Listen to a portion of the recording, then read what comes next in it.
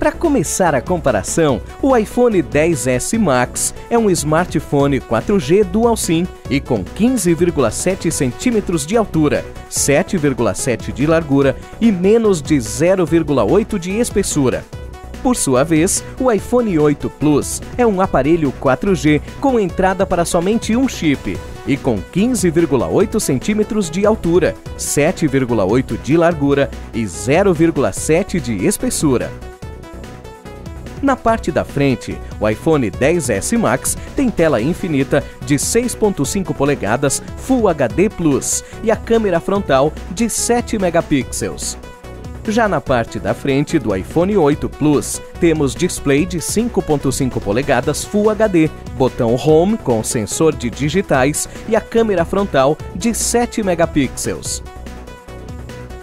Agora, na parte traseira do iPhone 10s Max, vem somente a câmera principal dupla de 12 megapixels com flash. Enquanto isso, a parte traseira do iPhone 8 Plus também traz somente a câmera principal dupla de 12 megapixels com flash. Para rodar jogos e aplicativos, o iPhone 10s Max foi lançado com o sistema iOS 12 e processador Hexa-Core, junto com 4 GB de memória RAM. Já o iPhone 8 Plus veio com iOS 11 e processador Hexa-Core, ligado com 3 GB de RAM. Além da bateria 3174, o iPhone 10s Max tem armazenamento de 64 ou 256 ou 512 GB para salvar seus apps, fotos e vídeos. Do outro lado, o iPhone 8 Plus conta com bateria 2691 e com armazenamento de 64 ou 256 GB.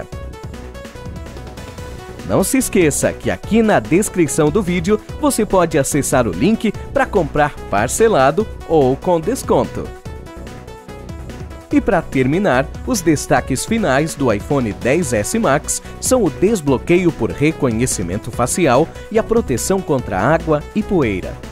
E os destaques finais do iPhone 8 Plus são a estabilização ótica e o zoom óptico de duas vezes na câmera traseira e a proteção contra água e poeira. Demais, né? Confira as nossas dicas de aplicativos para os dois celulares, os links na descrição do vídeo e se inscreva também no canal.